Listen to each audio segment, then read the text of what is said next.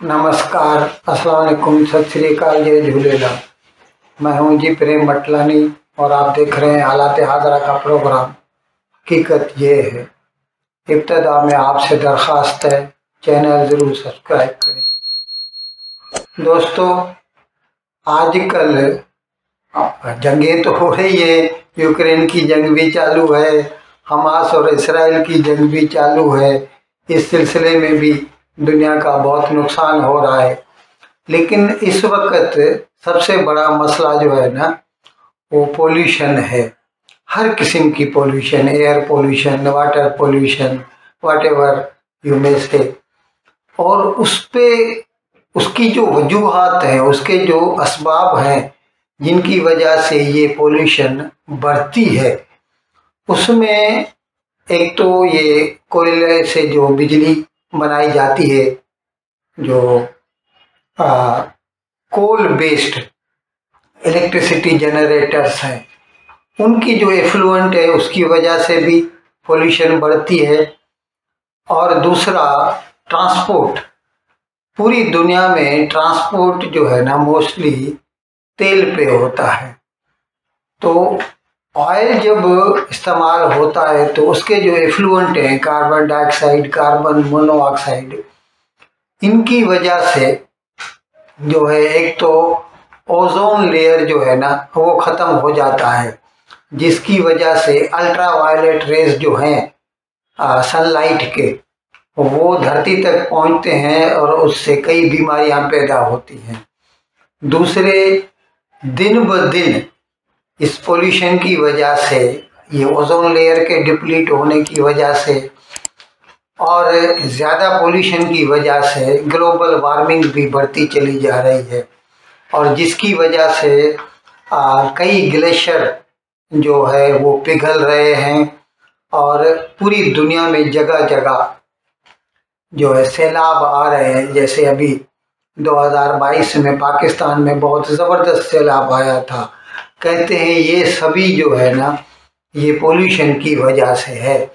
और उसको कंट्रोल करने के लिए इमीडिएटली जो है, वो ये है कि जितना हो सके ट्रांसपोर्ट सिस्टम में तेल का इस्तेमाल कम किया जाए। अब उसके लिए जो अल्टरनेटिव फ्यूल्स हैं, उसमें अभी जैसे बिजली है, बिजली पे कारें चलाई जा रही हैं, इथेनॉल है इथेनॉल इथाइल अल्कोहल जो है उससे भी जो एफ्लुएंट कम पोल्यूटन निकालता है। और हाइड्रोजन है हाइड्रोजन जो है ना वो जब जलती है तो उससे उसका जो एफ्लुएंट है वो जस्ट इट इज़ वाटर जो है। और इस तरह जो है आ, गैस पे गाड़ियाँ चलाई जाती हैं C N G L N G तो गैस पे भी जब भी चलाई जाती हैं तो उनका भी जो एफ्लुएंट होता है ना, वो पोल्यूटेंट नहीं होता। तो ये जो भी अल्टरनेट फ्यूल्स हैं, इन पे ज़्यादा ज़ोर दिया जा रहा है और भारत ने भी इस सिलसिले में बहुत पेशरफ की है। और इनको इनको इनक्रेज करने के लिए अल्टरनेट फ्यूल को इनक्रेज करने के लिए भारत सरकार अपनी तरफ़ से कई जो है सब्सिडीज देती है। जैसे अभी बिजली की गाड़ियाँ भारत में अभी बहुत बन रही हैं, बहुत सारी कंपनियाँ हैं। टाटा मोटर्स वाले बना रहे हैं, महिंद्रा एंड महिंद्रा वाले बना रहे हैं, आइशर वाले बना रहे हैं। स्कूटर्स में तो कई कंपनियाँ आ गई हैं। अथेर है, ओला है, और भी ऐसी कई कंपनियाँ हैं। टी वी एस है होंडा की है। ये सब के जो है इलेक्ट्रिक स्कूटर भी आ रहे हैं, इलेक्ट्रिक मोटरसाइकिल भी आ रहे हैं, इलेक्ट्रिक कार भी आ रहे हैं। लेकिन दुनिया में सबसे बड़ा बिजली की गाड़ियाँ बनाने वाला जो है, वो है टेस्ला मोटर्स। अमेरिका का है, जिसका मालिक इलॉन मस्क है, आप तो जानते ही हैं। तो भारत ने उससे ताल्लुक, रबता कायम किया था, संपर्क किया था कि आप भारत में अपनी गाड़ियाँ बनाएँ। ये दो तीन साल पहले की बात कर रहा हूँ मैं। लेकिन उस वक्त उसने टका सा जवाब दे दिया। उसने कहा कि मैं चाहता हूँ कि भारत में वाटर टेस्ट करूँ। यानी उसका इलेक्ट्रिक गाड़ियाँ बनाने का चीन में कारखाना है। वो चाहता था कि वहाँ से गाड़ियाँ इंपोर्ट हों, भारत में आए और यहाँ पे बिकें। और अगर अच्छी, अच्छे नंबर पे बिकती हैं तो फिर मैं सोच सकता हूँ, भारत में कारखाना लगाऊँ।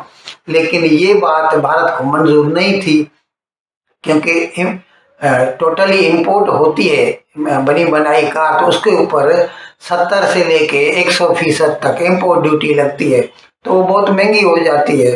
तो इसीलिए टेस्ला ने ये सोचना छोड़ दिया। अभी दो तीन महीने केवल भारत का वज़ीर आज़म जनाब नरेंद्र मोदी जब अमेरिका गया था, जो बाइडेन से मिलने तो वहाँ पर वो, वहाँ के जो कारपोरेट बिग बिग्स हैं, उनसे भी मिला था। सभी से सुंदर पिचाई से सत्या नादेला से, और उस वक़्त ये इलॉन मस्क से भी मिला था, टेस्ला का जो मालिक है। स्पेसशिप का भी मालिक, बहुत बड़ा आदमी है। दो साल पहले तो दुनिया का सबसे अमीर आदमी गिना जाता था। ट्विटर भी अभी इसके पास है, जिसका उसने नाम बदल के एक्स कर दिया है।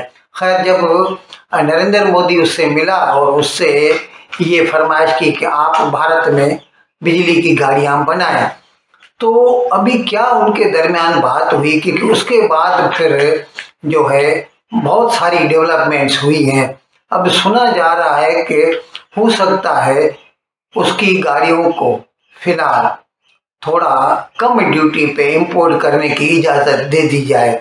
और उसके साथ साथ अभी उसने भी ये ऐलान किया है कि वो भारत में बिजली की गाड़ियाँ भी बना रहा है।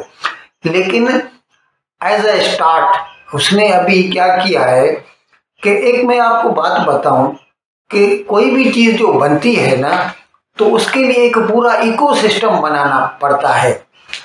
अभी जो कार बनाने वाले होते हैं, वो हर चीज़ खुद नहीं बनाते। They don't make everything under their own roof जैसे कार में टायर भी लगता है तो टायर वो बाहर से लेते हैं।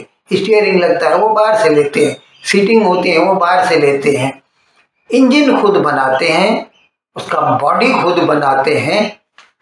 ऐसी चीज़ें जो है। अच्छा फ्यूल पंप है ब्रेक्स हैं गियर बॉक्स है, ये ऐसी चीज़ें जो भी हैं या बिजली की गाड़ी है तो फिर बैटरी है। वो बैटरी भी वो ज़रूरी नहीं कि वो जो कार बनाने वाला हो, वो खुद बनाए। तो ये जो पूरा इकोसिस्टम बनाना पड़ता है, अभी कन्वेंशनल गाड़ियों के लिए तो भारत में ये इकोसिस्टम बन चुका है और ख़ासा बन चुका है। इतना है कि वो न सिर्फ़ भारत को सप्लाई कर रहे हैं पार्ट्स ओरिजिनल इक्विपमेंट बल्कि बाकी दुनिया को भी एक्सपोर्ट हो रहा है। इसी तरह बिजली की गाड़ियों के लिए भी यहाँ पर एक अच्छा खासा इको सिस्टम बन चुका है। और वो जो बिजली की गाड़ियों में जो ओरिजिनल इक्विपमेंट पड़ता है टेस्ला वालों के लिए भी भारत में बनाते हैं। और एक दो चार कंपनियाँ हैं, मैं उनके आपको नाम गंवाता हूँ। गार्जियानो ट्रांसमिशन ये गियर बॉक्स बनाते हैं। सोना कॉन्स्टार ये स्टीयरिंग वगैरह, ये ऐसी चीज़ें बनाते हैं। भारत फोर्ज जो है फॉर्जिंग जो है उनके। और टाटा ऑटो टाटा वाले अपने ऑटो कंपोनेंट और मैं बताऊँ, इस वक्त हिंदुस्तान में बिजली की गाड़ियों में टाटा वाले नंबर वन पे हैं। उनकी एक गाड़ी नेक्सॉन तो बहुत ज़बरदस्त बिक रही है। और टाइगोर है, ऐसी कई गाड़ियाँ उन्होंने मतलब इंट्रोड्यूस की हैं। अब टेस्ला वालों के लिए भी वो सब ये जो ऑटो कंपोनेंट बना रहे हैं, और वो लोग अभी हिंदुस्तान में भी बेच रहे हैं और हिंदुस्तान से बाहर भी। और खाली टेस्ला के लिए 2022 में भारत ने उसके जो ऑटो कंपोनेंट बेचे, बाहर एक्सपोर्ट किए एक बिलियन डॉलर का। और ये 2022 की बात कर रहा हूँ, इंशाल्लाह 2030 में ये डबल हो जाएगा, दो बिलियन डॉलर और जैसे ही टेस्ला का अपना कारखाना भारत में काम शुरू कर देगा तो फिर तो इनकी जो मैन्युफैक्चरिंग है ऑटो कंपोनेंट्स की, उसमें और ज़्यादा तेज़ी आ जाएगी। इन अल्फाज के साथ मैं आज का प्रोग्राम ख़त्म करने की आपसे इजाज़त चाहता हूँ, लेकिन विदाई लेने से पहले एक मरतबा फिर आपसे मेरी दरख्वास्त है कि जिस किसी साहब या साहबा ने अब तक हमारे इस चैनल को सब्सक्राइब नहीं किया अजरा करम, इसको जल्द से जल्द सब्सक्राइब करें प्रोग्राम को लाइक करें शेयर करें, और घंटी का बटन दबाना न भूलें। बहुत बहुत शुक्रिया। खुदा हाफिज़।